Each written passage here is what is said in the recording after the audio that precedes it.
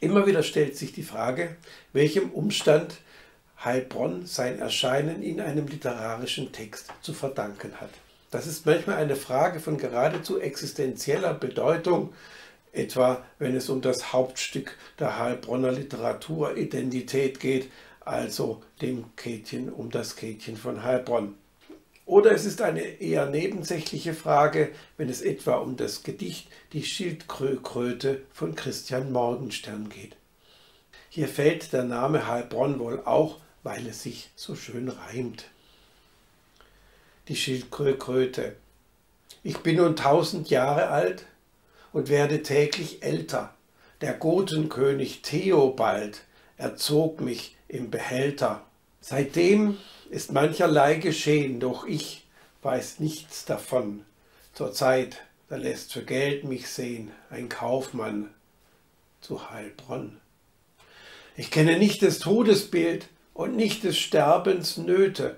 Ich bin die Schild, ich bin die Schild, ich bin die Schildkröte. Das Morgensterngedicht assoziiert die Stadt Heilbronn als Kaufmannsstadt, als Krämerstadt.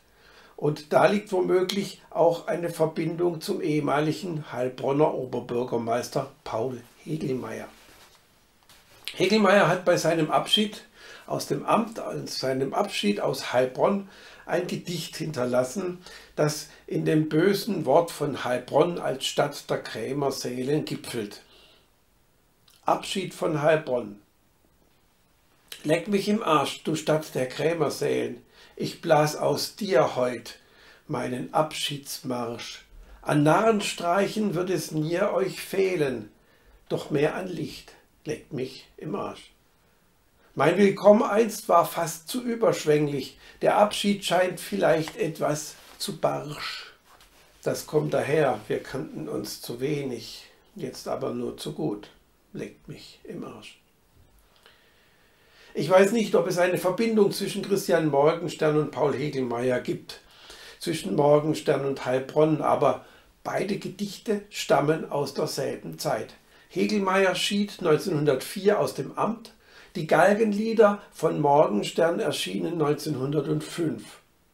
Vielleicht lohnte ein Blick in die Morgensternforschung, in den Briefwechsel, in die Korrespondenzen. Ich weiß es nicht, ob er Kontakt zu Heilbronn hatte. Immerhin für 1900 wird ein Aufenthalt Morgensterns in Heidelberg genannt.